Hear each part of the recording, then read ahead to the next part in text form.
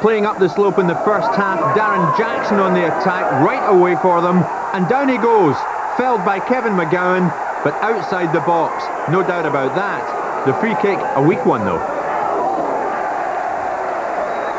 Kilmarnock then pushed forward. A good strike there from fullback Dylan Kerr. An easy enough save from Leighton.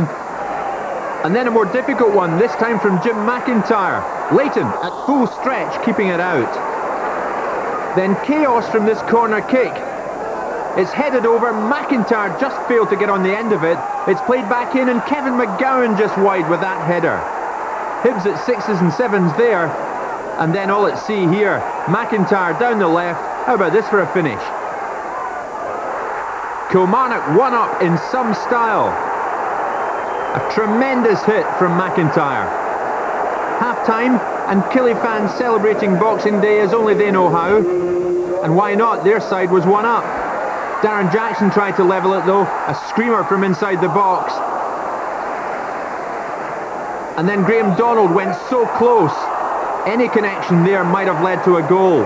Corner Hibs as he desperately tried for the leveller. Jackson headed over from close in. And that was it.